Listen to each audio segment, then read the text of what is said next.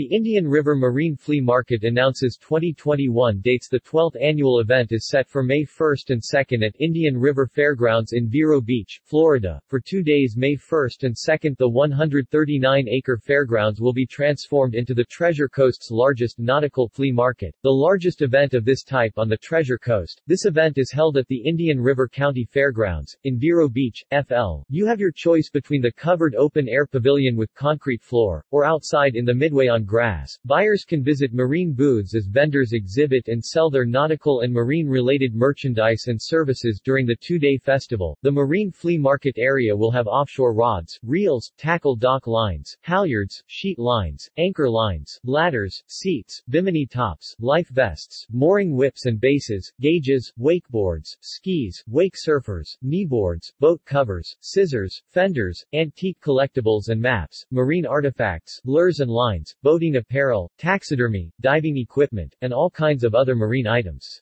Come by for some super discounts on surplus, liquidation, closeouts, new and used boating and fishing supplies. Speaking on the location, event promoter Larry Burdgick said, The Indian River Fairgrounds is the perfect venue since it's right in the heart of Indian River County. It offers the space we need along with free great parking for our guests. The Marine Flea Market is easily accessible from I-95 and the Florida Turnpike and there are acres of free parking. Admissions is $7 and children 12 and under are free. www www.flnauticalfleamarket.com for more information, discount tickets, vendor applications and specific driving directions. Contact Under the Sun Promotions, Inc. at 954-205-7813.